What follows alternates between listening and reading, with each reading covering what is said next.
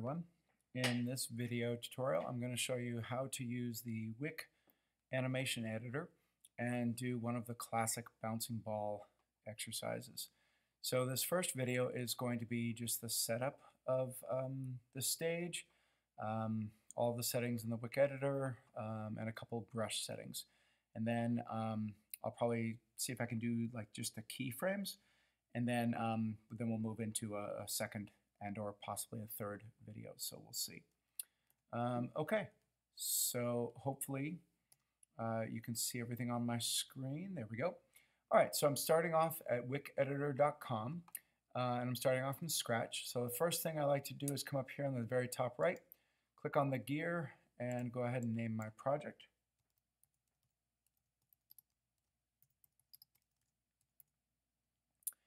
Uh, you can change your background color. I'm going to stick with white for now.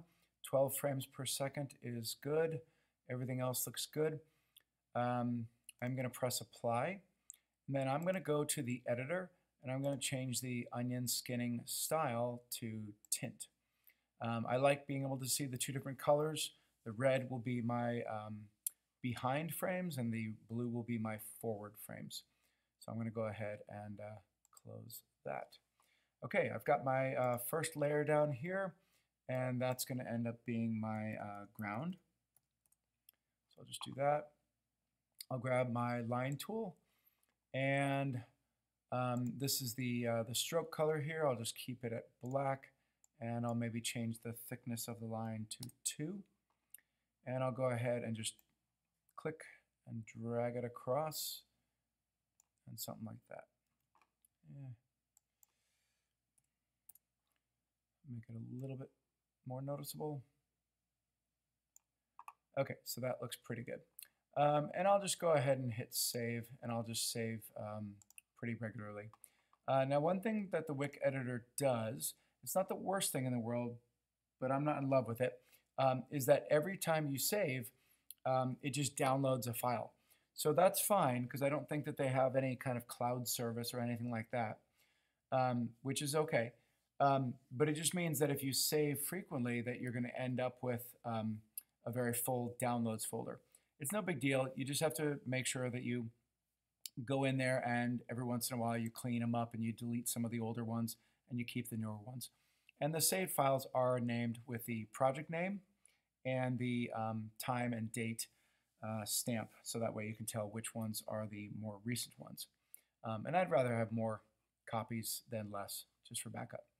All right, I'm going to go ahead and click on this button here to recenter. There we go. And I'm going to make a new layer. And this is going to be my um, motion path. And this is going to be the arcing of the ball bouncing, starting up here on the top left and then going like that. Um, I found a uh, reference image of a bouncing ball, um, and I put the frames in there just to make it easier. So as you can see, we're doing one, two, three bounces, technically four bounces. Um, so let's go ahead and set that up. So you could go ahead and grab the pencil tool and then just go ahead and manually draw it, right? Just something like this. And then just kind of keep going and then kind of keep going. And that's pretty good. Um, I kind of like taking the line tool and then using the line tool and the path cursor tool to make my curves uh, pretty exact. Um, so I'm going to start by dragging it right about here, and then I'll go ahead and drag a line like that. There we go. Okay, so this is a really cool little technique. So now I'm going to grab the path cursor tool, which is A. I'm, I'm learning all my hotkeys. And then I'm going to come over here to the first one. I'm going to click and drag and just kind of bend it out. Now you can also put your mouse pointer on the um, outer edge and kind of drag it a little further off um, and drag it just what you want.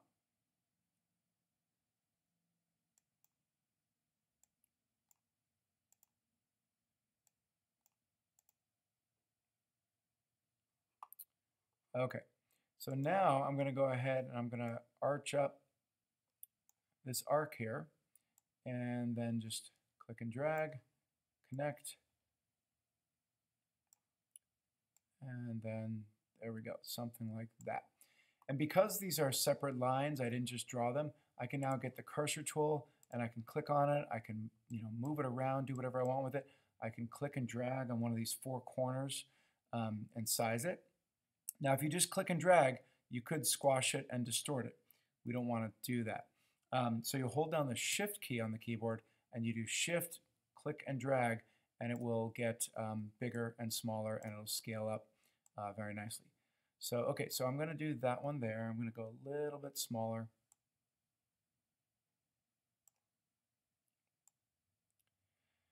I have found that when you use the cursor tool, you really have to get the mouse pointer right on the actual ink itself uh, to be able to click and drag and move it.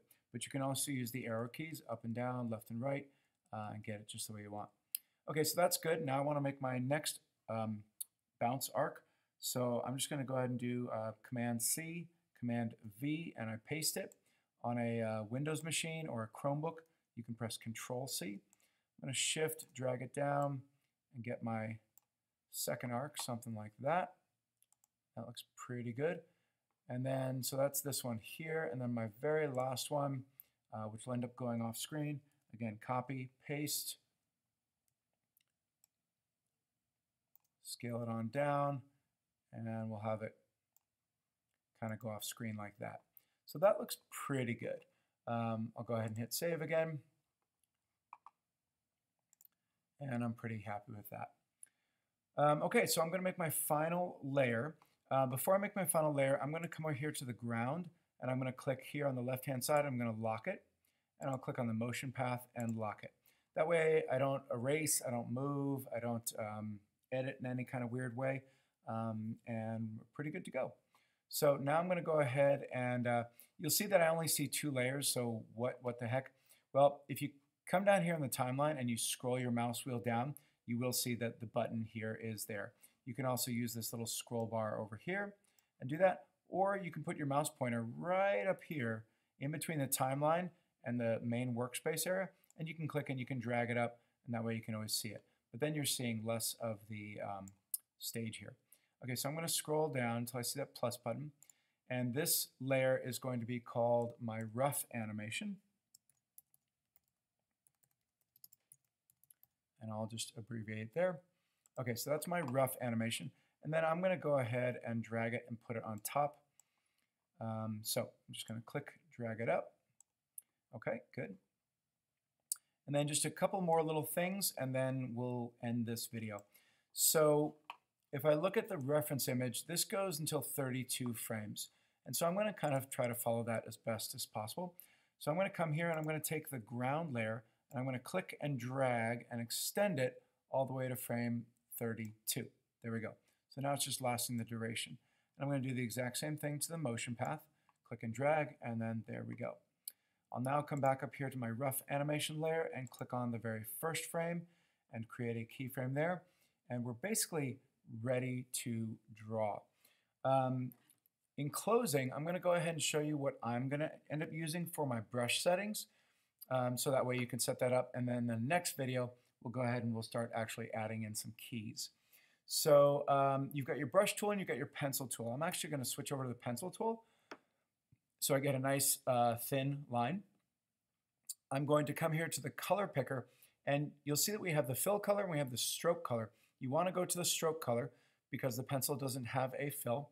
I'm going to stick with black and then right down here underneath the um, hue bar here, or the rainbow bar, whatever you want to call it, we have the opacity bar, and it's at 100%. You can see right here, it's a little tough, but you can see right here it says A, that means alpha, and that's the technical term for transparency, and it's set to 100%, so it's um, all the brushstrokes are completely um, opaque.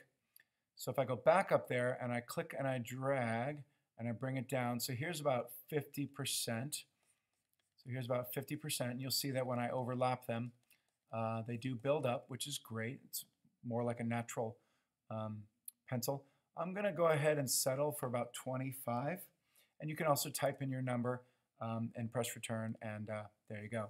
So 25 is pretty good. I feel pretty good about that. Um, now, one last thing I'll do, and this was um, kind of reminded, uh, this was, uh, I was reminded by a student.